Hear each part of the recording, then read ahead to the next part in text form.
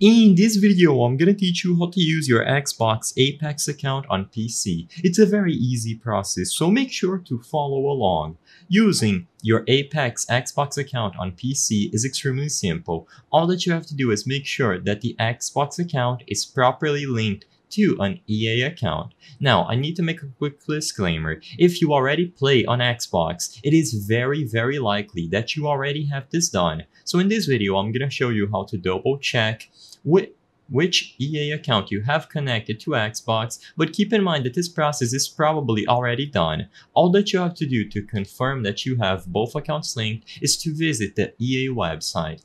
In here at ea.com, you will be able to sign into an account and con confirm the connections that you have made to that specific EA account. So click on the icon at the top right corner of the screen and then sign into an account. Once you are properly signed in by either including an email and password of an EA account or by clicking the option to sign in using Xbox, you can access the account settings. It is inside of the EA account settings where you can go over to connections and check all of the connections established with your EA account. One of these accounts is going to be Xbox, as you see the second option right below PlayStation.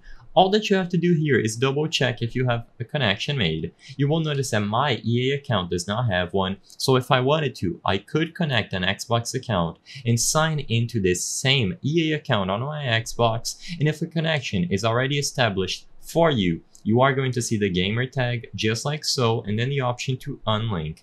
All that you have to do in this page is either link the account if there is no link established, unlink a pre-existing Xbox account, or simply confirm your details. Afterwards, both accounts will be linked, and like I said previously, you have to use the same EA account between both platforms or any other platform that you connect do this page.